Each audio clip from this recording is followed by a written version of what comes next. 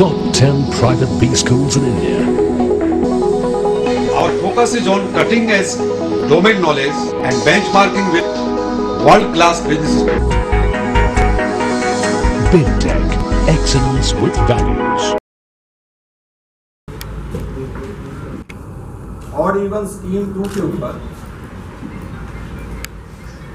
सर्वेक्षण करने का निर्णय किया यह निर्णय इसलिए किया गया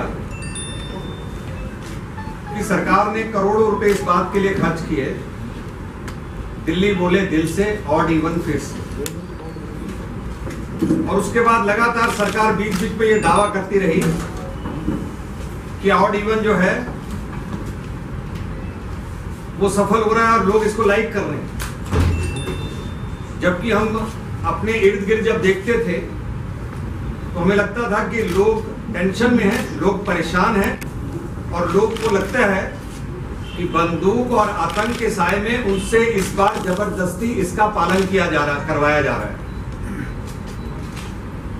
तब लोक अभियान ने यह तय किया कि क्यों ना हम दिल्ली के अंदर और इवन दो के ऊपर सर्वे कराएँ और उस सर्वे की रिपोर्ट दें।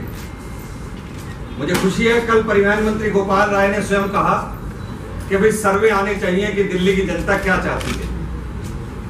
सर्वे तो दिल्ली सरकार ने भी कर दिया था उसी दिन। जिस दिन गोपाल राय जी ने आरोप लगाए थे सारे कि बलसवा लैंडफील्ड के ऊपर बीजेपी ने आग लगवा दी डीटीसी की बसों को खराब करवा दिया थ्री व्हीलर की स्ट्राइक करा दी, रास्ते में कारें खड़ी कर दी ताकि जाम हो जाए।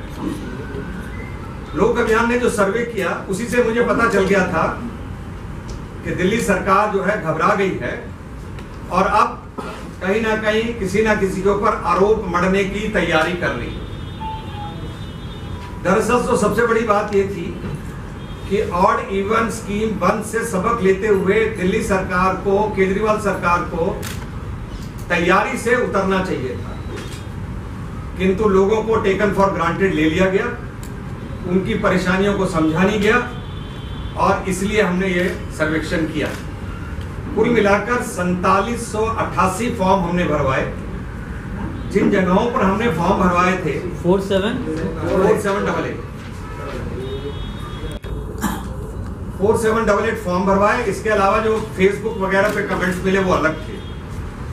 इसमें हमने Tiragarhi Patel Nagar central market Lajpat Nagar Delhi Noida border Saket Connaught place Rajiv Chowk metro Madhuban Chowk, Durgapuri Chowk, Nangloi M block G K one, Paharganj, Shastri Nagar, इन सब क्षेत्रों के अंदर किया है। लोगों ने